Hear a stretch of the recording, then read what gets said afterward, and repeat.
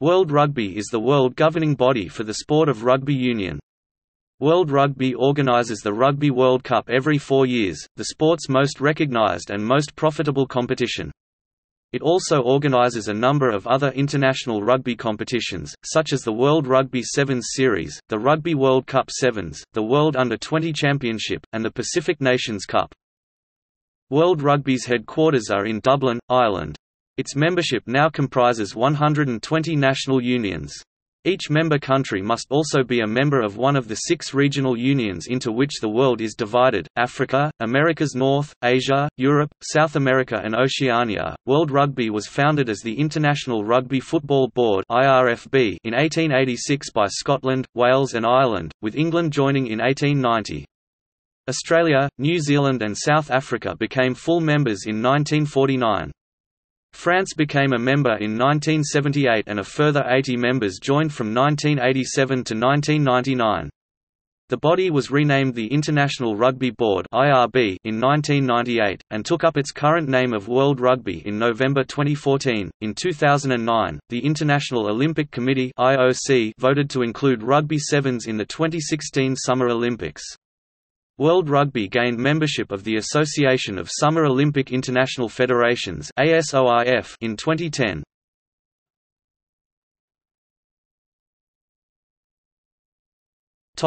History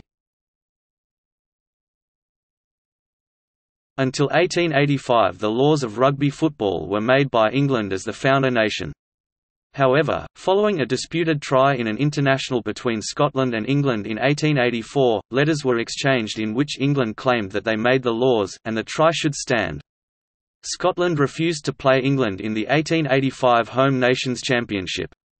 Following the dispute, the home unions of Scotland, Ireland and Wales decided to form an international union whose membership would agree on the standard rules of rugby football. The three nations met in Dublin in 1886, though no formal regulations were agreed upon. On 5 December 1887, committee members of the Irish Rugby Football Union, Scottish Rugby Union named the Scottish Football Union at the time and Welsh Rugby Union met in Manchester and wrote up the first four principles of the International Rugby Football Board. England refused to take part in the founding of the IRFB, stating that they should have greater representation, as they had more clubs. The England Union also refused to accept the IRFB as the recognised lawmaker of the game. This led to the IRFB taking the stance of member countries not playing England until they joined, and no games were played against England in 1888 and 1889. In 1890 England joined the IRFB, gaining six seats while the other unions had two each. The same year, the IRFB wrote the first international laws of rugby union. In 1893, the IRFB was faced with the divide between amateurism and professionalism, which was nicknamed the Great Schism. Following the introduction of working class men to the game in northern England, clubs began paying broken time payments to players, due to the loss of earnings from playing on a Saturday. Cumberland County Union also complained of another club using monetary incentives to lure players, leading to the IRFB conducting an inquiry. The IRFB was warned by all the chief clubs in Lancashire and Yorkshire that any punishment would lead to the clubs seceding from the union. The debate over broken time payments ultimately caused the 22 leading clubs in Yorkshire and Lancashire to form the Northern Rugby Football Union. The competing unions' laws of the game diverged almost immediately. The Northern Bodies Code eventually became known as rugby league football. England's seats on the IRFB were reduced from 6 to 4 in 1911. The Australian Rugby Union, New Zealand Rugby Football Union and South African Rugby Board joined the board with one seat each in 1948, with England's seats being reduced to two, the same as the other home nations. The three Southern Hemisphere unions were given a second seat each in 1958. The French Rugby Federation was admitted in 1978 and the Argentine Rugby Union, Canadian Rugby Union, Italian Rugby Federation and Japan Rugby Football Union were admitted in 1991. In 2016, Georgia, Romania, and the USA were added to the voting council with one vote each. Additionally, current council members Argentina, Canada and Italy were granted a second representative and vote. The six regional associations represented on the council also received an additional vote. It is thought that in the late 1950s the IRFB was presented with the ideas of a world championship. In 1983 and 1984 respectively, the Australian and New Zealand rugby football unions each proposed hosting such a tournament.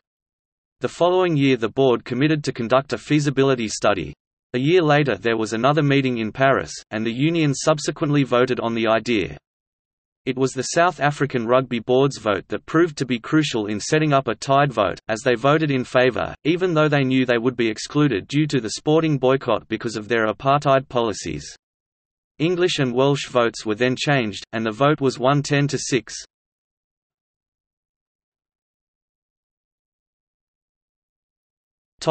Member unions As at January 2017, World Rugby has 102 member unions and 17 associated unions. Membership of World Rugby is a four step process. A union must apply to become an associate member of its regional union.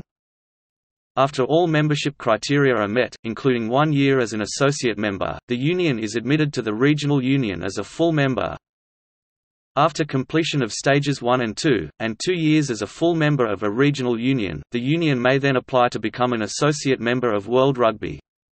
As an associate member, the union can participate in World Rugby-funded tournaments but not the Rugby World Cup.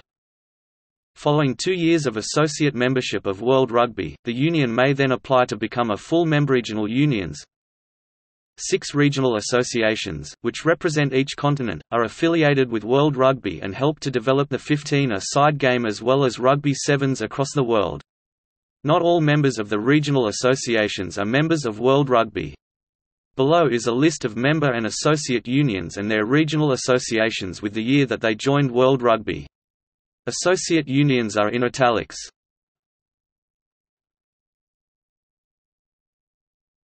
Topic: Africa. There are 18 World Rugby members and 4 World Rugby associates. Other unions not affiliated with World Rugby. Algeria. Mauritania notes.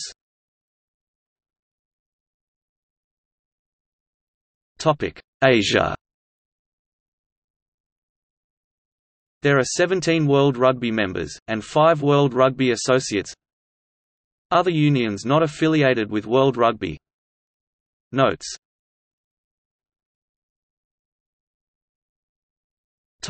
Europe. There are 37 World Rugby members, and 3 World Rugby associates. Other unions not affiliated with World Rugby. Notes.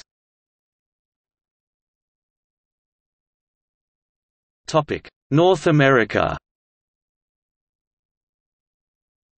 There are 11 World Rugby members, and 2 World Rugby associates. Notes. Other unions not affiliated with World Rugby.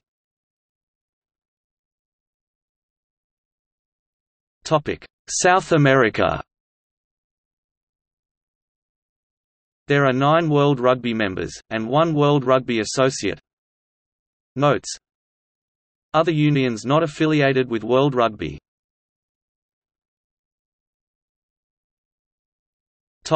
Oceania There are 12 World Rugby members. Topic: Participation figures. World Rugby's largest members, ranked by number of participants in 2011, are England 1. 99 million South Africa 651,000 United States 458,000 France 361,000 Australia 297,000 Scotland 217,000 Ireland 154,000 New Zealand 147,000 Argentina 126,000 Japan 122,000 Topic Governance.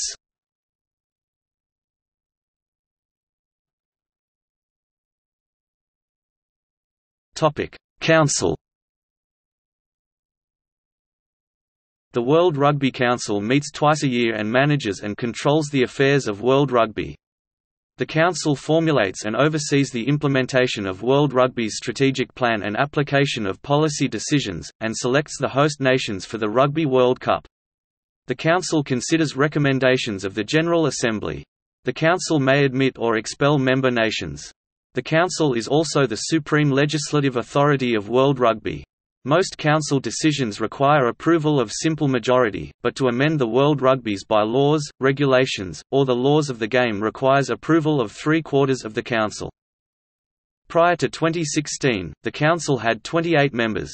In November 2015, World Rugby announced that they would be adding more unions to the voting council and giving the regional associations two votes each on the council. As of November 2018, the council is composed of 33 delegates with a total of 50 votes, allocated as follows 30 10 unions each have three votes and two delegates, Argentina, Australia, England, France, Ireland, Italy, New Zealand, Scotland, South Africa, and Wales. 2 one union has two votes and one delegate, Japan.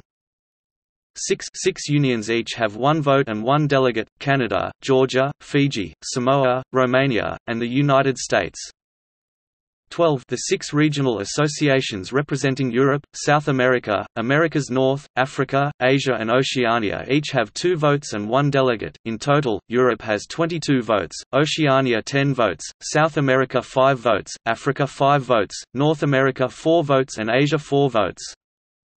A chairman and vice-chairman are elected from among the delegates and these positions are held by Bill Beaumont of England and Agustín Pico of Argentina, respectively, as of May 2017.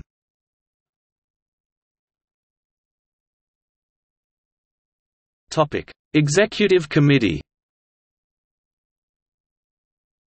The Executive Committee, in accordance with Bylaws 9.14 to 9.16, ensures the effective management and operation of the World Rugby.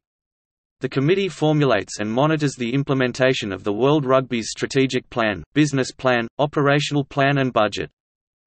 In 2016, as part of the reforms to the World Rugby Council, the Executive Committee was increased to 12 members. The chairman, vice-chairman, nine elected officials, including two independent members, and the chief executive sit on the World Rugby Executive Committee.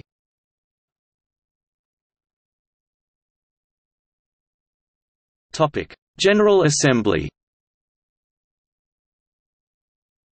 A General Assembly of the full membership is convened every two years.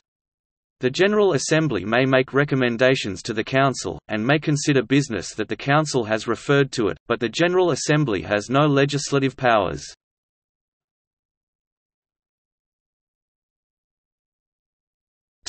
Leadership The chairman and vice-chairman of the World Rugby are elected by the Council. The current chairman is Bill Beaumont, previously president of the Rugby Football Union RFU.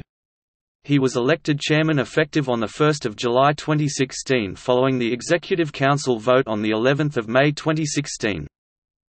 Previous chairmen include Bernard Lapasset (2008–2016), Syd Millar 2002 to 2007 and Vernon Pugh, QC 1994 to 2002.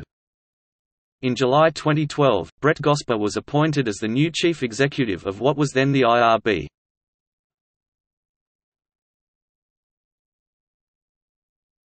Topic: Funding. World Rugby have recently released £18.6 million of funding over three years for developing rugby nations Canada, the USA, Japan, Romania, Fiji, Samoa and Tonga. Argentina will also receive additional support to enable it to retain its Tier 1 status. The money, built up from successful World Cups, was released following a report commissioned by World Rugby highlighting the growing disparity between Tier 1 and Tier 2 nations. CIRB statement. This is in addition to the £10–12 million it normally gives out grants and tournament costs. The emphasis is on three areas infrastructure, high-performance units and cross-border competitions. It was announced in April 2006 that Tier 3 rugby nations Georgia, Portugal, Tunisia and Russia were identified as the key investment nations over the next three years. The program is designed to increase the competitiveness of international rugby union.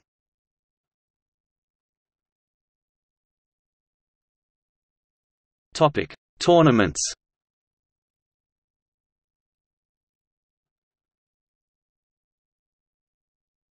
Topic: Rugby World Cups. World Rugby organises the Rugby World Cup, which has been held every four years since 1987, the sport's most recognised and most profitable competition. Despite the profitability of the Rugby World Cup, the majority of its revenues and viewers come from a small number of countries. For the 2007 Rugby World Cup final, 87% of viewers came from the five nations England, France, Wales, Ireland, Scotland, 15% came from the Tri-Nations South Africa, Australia, and New Zealand, with just 2% of viewers coming from all other countries. The most recent Rugby World Cup was held in England in 2015. New Zealand defeated Australia 34–17 in the final, winning their third title. The next Rugby World Cup will be held in 2019 hosted by Japan. World Rugby also organises the Women's Rugby World Cup, also held every four years. It was first held by the IRB in 1998, though tournaments in 1991 and 1994 were retrospectively recognised in 2009. The Women's Rugby World Cup is contested by fewer teams than the Men's Cup, with only the 1998 and 2002 editions featuring more than 12 teams these competitions both had 16 teams, compared to the 20 teams in the Men's Rugby World Cup. The most recent Women's Rugby World Cup was held in Ireland, with matches held both in the Republic of Ireland and Northern Ireland, in 2017. The four-year cycle was brought forward by a year to ease congestion in the sport's international calendar. The tournament was won by New Zealand, who defeated England 41–32 in the final.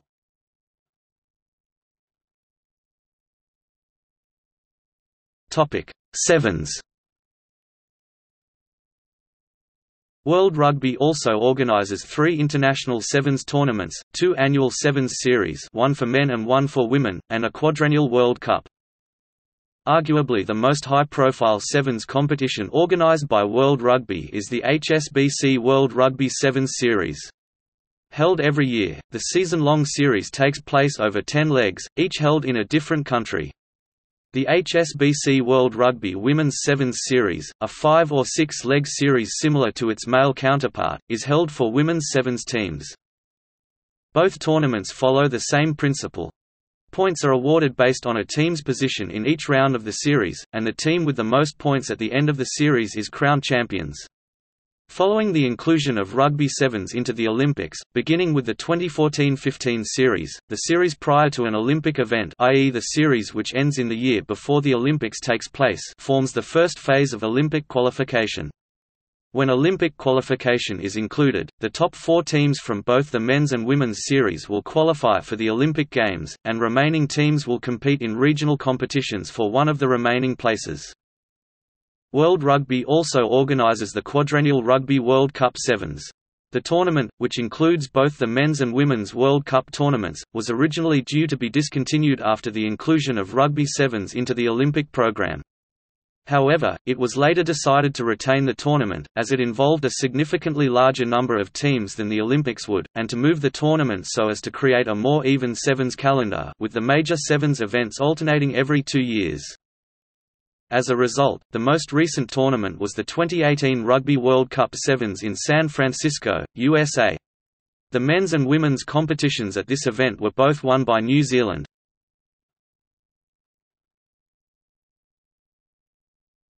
Topic: Developmental competitions. World Rugby organises annual international competitions involving Tier 2 nations. Pacific Nations Cup, which has been played annually since 2006. The national teams of Fiji, Samoa, and Tonga currently compete for the Cup.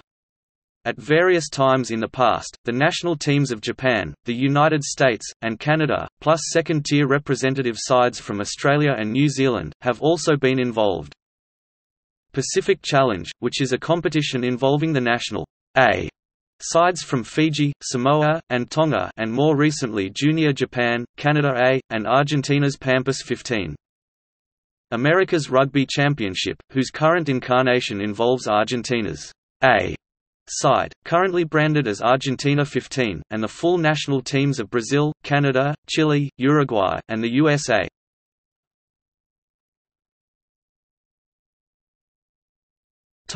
Junior competitions World Rugby organises two competitions for under-20 national teams, the World Rugby Under-20 Championship and the World Rugby Under-20 Trophy. These competitions were created following the merger of under-19 and under-21 representative teams, into an under-20 age group.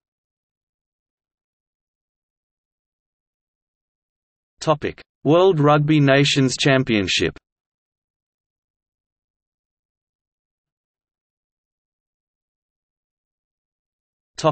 Current title holders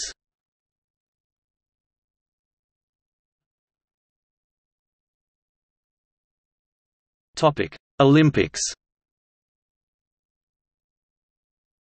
The sport of rugby union has been played at the Summer Olympics on four occasions, with the last being in 1924. The winners, and thus the reigning champions, were the U.S. team. Rugby union made one more appearance as a demonstration event but was then removed from the Games.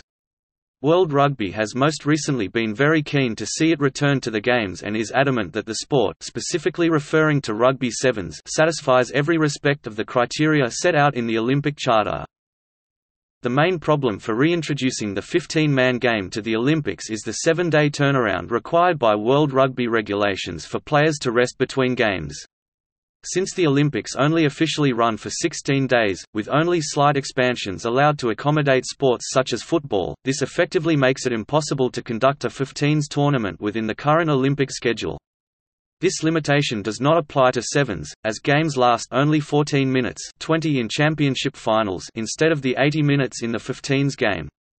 All of the events in the current men's and women's Sevens series, which feature a minimum of 16 national teams for men and 12 for women, are conducted within a single weekend. But in furthering the World Rugby cause, the organization became an International Olympic Committee-recognized international federation in 1995, marked by a ceremonial signing by President Juan Antonio Samaranch prior to a match between Wales and South Africa in Cardiff. World Rugby cites rugby union's global participation, with men playing the game in well over 100 countries and women playing in over 50 as well, the organization's compliance with the World Anti-Doping Code, and that a Rugby Sevens tournament could be and generally generally is accommodated in one stadium and is relatively inexpensive to play. Not only is the Sevens game successful in the context of the Sevens World Series and World Cup Sevens, it is also very successfully played in the Commonwealth Games. The Sevens tournament at the 2006 Games in Melbourne set all time attendance records for a Sevens tournament. As a result of this, World Rugby applied to the International Olympic Committee for a Sevens tournament to form part of the Olympics. Subsequently, Sevens was accepted into the Summer Olympic Games and was first played in 2016 in Rio de Janeiro.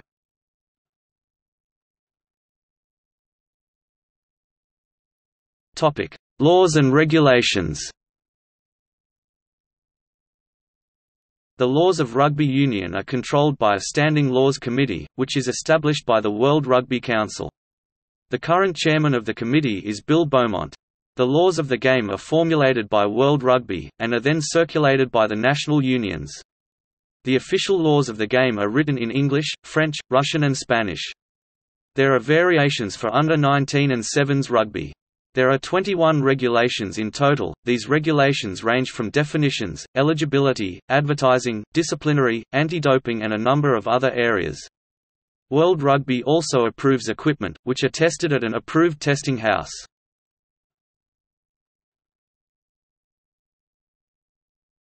Topic: Experimental law variations.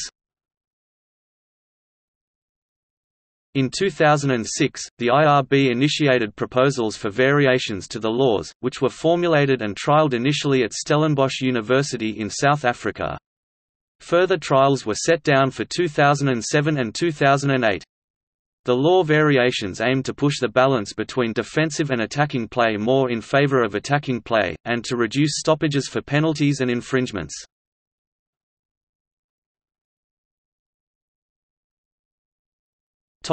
Anti-doping World Rugby is compliant with the WADA Code, the World Rugby Anti-Doping Programme includes testing at the under-19 and under-21 level, sevens and senior 15 a side. Testing is a mix of in-competition at World Rugby organised events, as well as out-of-competition testing, which can occur during a specified one-hour time slot designated by a player. In 2003, World Cup year, the World Rugby member unions undertook approximately 3,000 tests. Keep Rugby Clean is a campaign message run by the World Rugby anti-doping manager Tim Ricketts. The program is supported by stars such as Brian O'Driscoll.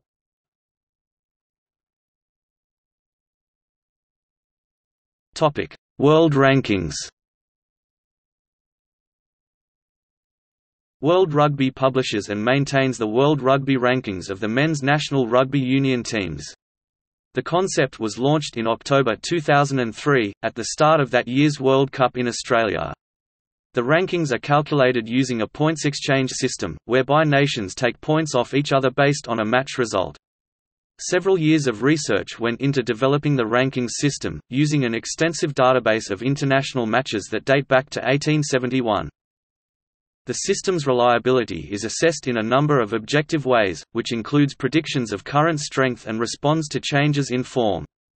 The system takes into account home advantage, in that the home nation is treated as though it has an extra three rating points, effectively handicapping them, as they will gain fewer ranking points for a win, and lose more should they lose. In the case of a freak result, there is a maximum number of movements on the ranking that any nation can gain from one match. If a nation does not play for a number of years they are considered dormant, and excluded from the rankings, upon returning, picking up from where they were excluded. If a nation is to merge or split, the highest rating of any of the rankings is inherited. Currently all capped international matches are equally weighted, whether or not they take place within a competition or are played as tests, the sole exception to this is the World Cup final tournament.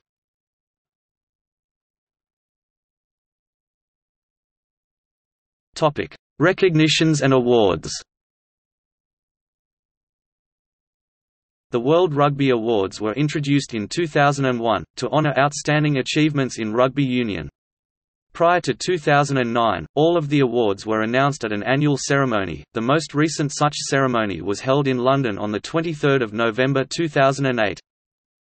However, as a response to the Great Recession, the annual ceremony only saw the International Player, Team, and Coach of the Year awards presented in 2009 and 2010. All other awards were presented at different times throughout the year. The IRB reinstated a single year-end ceremony in 2011 after the 2011 Rugby World Cup. Since then, it has chosen to present some awards at times relevant to those specific prizes, such as Sevens Awards after the London Sevens, the final event of the Sevens World Series, and the Junior Player Award after the final of the Junior World Championship. The bulk of awards will be presented at the year-end awards ceremony. The current awards are International Player of the Year International Team of the Year International Coach of the Year International Sevens Team of the Year International Sevens Player of the Year. International Junior Player of the Year. Women's Personality of the Year. IRB Referee Award for Distinguished Service. Vernon Pugh Award for Distinguished Service. IRB Development Award. Spirit of Rugby Award at the year-end ceremony, the International Rugby Players Association also hands out the following awards. IRPA Try of the Year IRPA Special Merit Award in the past, the following awards have also awarded IRB International U21 Player of the Year IRB Under-19 Player of the Year IRB Chairman's Award The awards that recognize achievements in the preceding 12 months tend to be won by that season's most successful nations, France in 2002, England in 2003, South Africa in 2004, New Zealand in 2005, South Africa again in 2007. For those award categories that have nominees, a shortlist is drawn up by an independent panel of judges, who are all former internationals. The panel then reconvenes to choose a winner. The current judges are Jonathan Davies, Will Greenwood, Gavin Hastings, Michael Jones, Dan Lyle, Federico Méndez, François Pienaar and past Player of the Year winners Fabien Galthié and Keith Wood, with John Eales as convener. The judges have a total of over 500 caps between them. In 2006 a Hall of Fame was established to chronicle the achievements and special contribution of the sports players, coaches, administrators, match officials, institutions and other individuals. The Hall of Fame was inaugurated at the 2006 IRB Awards, when William Webb Ellis and Rugby School were named as the first two inductees.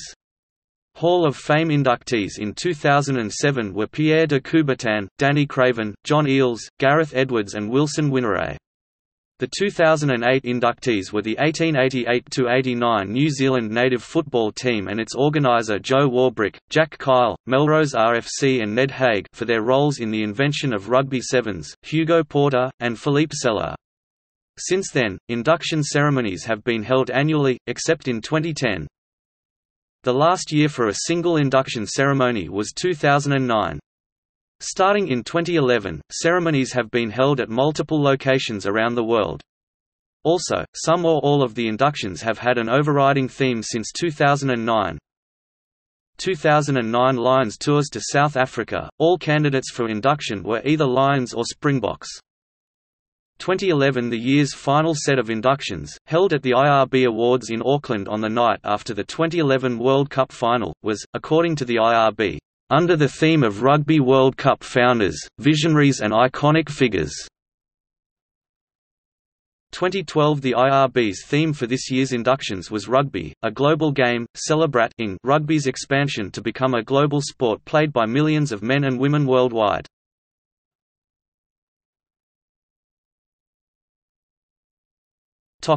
See also Syd Millar Mark Egan